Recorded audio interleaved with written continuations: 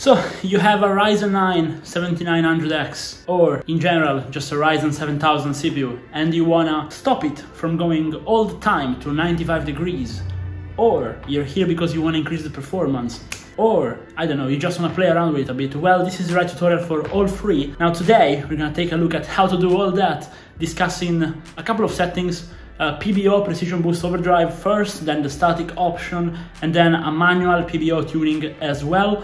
This will work both in the BIOS and your Ryzen Master. If you're going to be using Ryzen Master in Windows, just do the same things we're doing here, but there. I do recommend using a BIOS, since it will just stay in your PC forever. You don't have to deal with the application, having troubles and stuff. And now today we're going to be using a Gigabyte motherboard, but the settings will be the same for every motherboard. We're also using a 360 millimeters uh, liquid cooler from Mars Gaming. If you have a different motherboard, your names in the BIOS might be slightly different, but they will be, do the same thing. Uh, in case you have an ASRock motherboard, I have another tutorial on the channel that I recorded with a Ryzen 9 7950X. It's still an undervolting tutorial. Uh, if you look at that, you will have some extra info on the names on ASRock boards, but the settings will be the same. So let's get started. Okay, so here we are in the BIOS. Let's get started. Now, first of all, I want to say, if you don't have XMP enabled for your RAM, EXPO, XMP, just enable it. It will have your RAM run faster. This I recommend doing it for either tuning option, uh, either if you're going with PBO or with manual settings, just do it.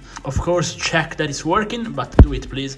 I have a video in which we investigate the performance difference and it's pretty big actually. I will leave the link up here in case you want to check it out, but it's worth it. Now, let's get straight into working, okay? There are two ways to do this. The first one is PBO. It's more geared towards people who have thermal headroom, people who care about power consumption but not too much.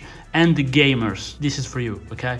The, the second one is going to be if you have an overkill cpu for example if you're playing uh, like at 4k with like this cpu then you can do the other one. But if you're playing like 1080p 360 hertz with a powerful graphic card do this one. It's probably going to be the best for performance. Let's get straight into it. So most motherboards offer an automatic tuning in which you can just choose how to use the PBO. So as you can see here, it says Precision Boost Overdrive Pro Enhancement.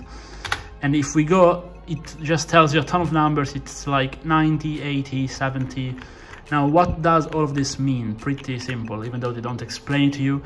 Basically, first number, 90, 80, 70, is your temperature target. So the temperature at which your CPU will target at. Personally, I like my CPU running cooler, so we will choose 80. But if you do have a very beefy cooler, just choose 90, or if you don't care about temperature, just choose 90. 90 will give you a slightly better performance. This is just personal preference. So 90, 80, or 70. 70 is if you want a really cool, really quiet system, just choose 70. And then we have some numbers. As you can see, we have 1, 2, 3, 4, 5, and then it starts again. 1, 2, 3, 4, 5. What's this? This is a multiplier. So this is times 10. So 1 times 10 is 10, 2 times 10 is 20, and it's a negative offset that will be applied to the PBO curve, okay? So 90 level 2 means temperature target 90 degrees, curve optimizer offset minus 20. So if you just don't want to think about this thing, you want to use my recommended settings, I do recommend 80 level 2.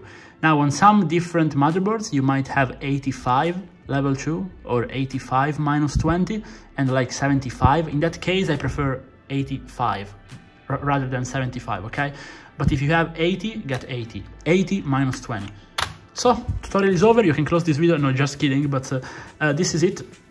For the first option, you just choose 80 level 2, hit F10, save, enable your XMP, and it, you will be done and you will enjoy a rather better performance and a better CPU. But this is a proper tutorial, so if in case you wanna experiment a bit, a little bit, I will explain you how to test it out. So the higher the number you can input, the better. So if you are very lucky and you could run 80 level 5, this would give you tremendous better performance but this is going to be stable just for a very small percentage of users. So you should just test this. You should just do this, enable it, go into Windows, run a stress test like Prime 95, small FFT and test it and see if it's stable.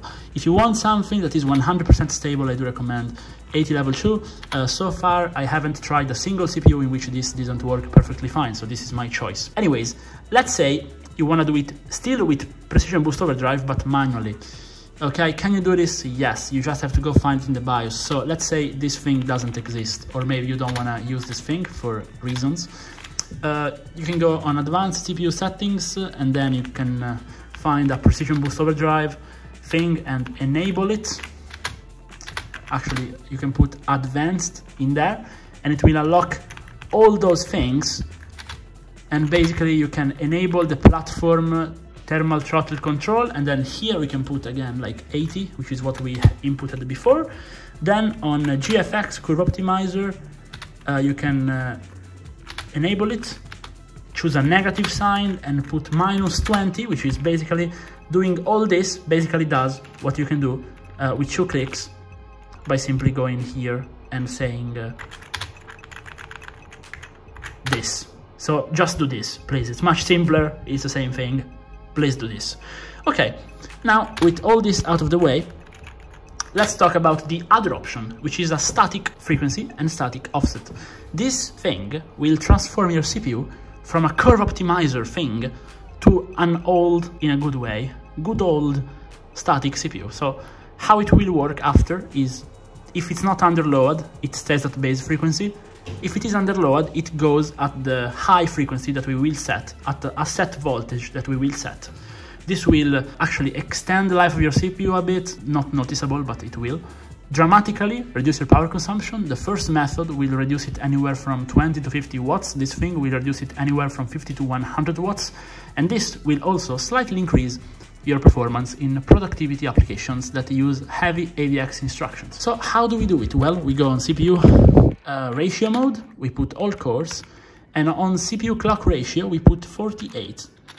This will make our CPU run at 4.8 gigahertz. Now again, you do have to test this. If this is not stable, you might have to put 47, but generally 48 so far for me is working on every CPU that I own, so I do recommend 48. Then you want to go all the way down until you find something called CPU VCore or CPU voltage or core voltage, something along those lines.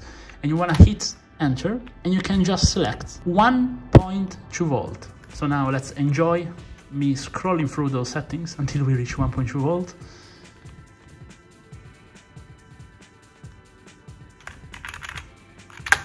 Right there. At this point, again, choose settings, 4.8, 1.2, XMP enabled, hit F10, and you will be done. And this will be your other option.